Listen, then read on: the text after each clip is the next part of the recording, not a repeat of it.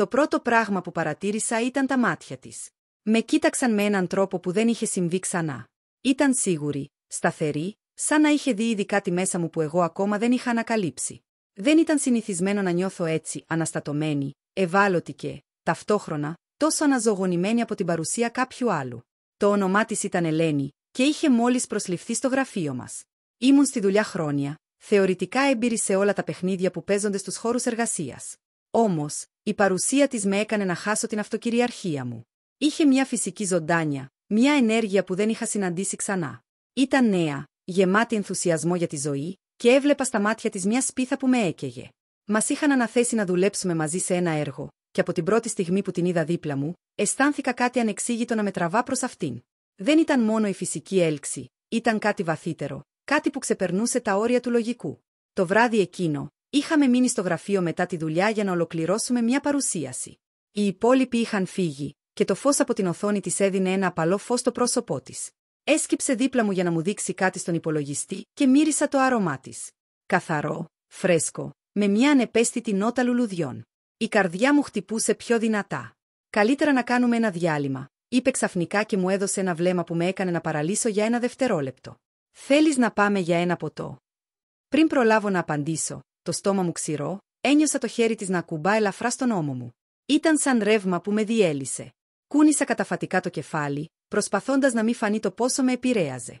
Καθίσαμε σε ένα ήσυχο μπαράκι, κάπου κοντά.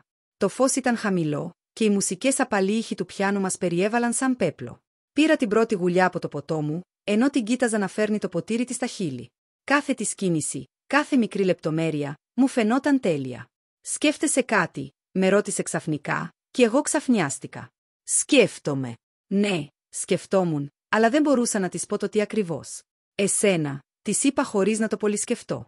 Τα μάτια της φωτίστηκαν για λίγο, και χαμογέλασε. Κι εγώ το ίδιο, απάντησε. Εκείνη τη στιγμή, ο κόσμος γύρω μας έσβησε. Το χέρι της έφτασε και κάλυψε το δικό μου πάνω στο τραπέζι. Ένιωσα τον παλμό της, τη ζεστασιά της, τη σιγουριά της. Δεν ήταν το πρώτο χέρι που με είχε αγγίξει, αλλά ήταν το πρώτο που με έκανε να νιώσω έτσι. Την κοίταξα στα μάτια και είδα κάτι εκεί, κάτι που με τραβούσε σαν μαγνήτης. Χωρίς να το καταλάβω, είχα γύρει προς το μέρος της.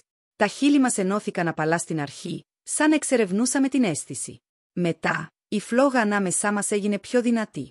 Την έσφιξα πιο κοντά μου, αφήνοντας την ένταση που είχε συγκεντρωθεί τόσες εβδομάδες να ξεχυλήσει. Ήταν τρυφερή και ταυτόχρονα παθιασμένη, το φιλί της γεμάτο προσμονή και δύναμη. Δεν είπαμε τίποτα. Δεν χρειαζόταν. Το σώμα της μίλησε στη γλώσσα που ήξερα καλά, αλλά δεν είχα νιώσει ποτέ έτσι πριν.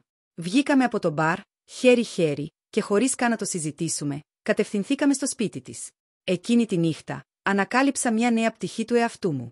Ήταν μια εμπειρία που με έδεσε μαζί της με τρόπο βαθύ, πέρα από τα στερεότυπα και τις κοινωνικές συμβάσεις. Ήμασταν εμείς, σε μια στιγμή που φαινόταν να ανήκει αποκλειστικά σε εμάς.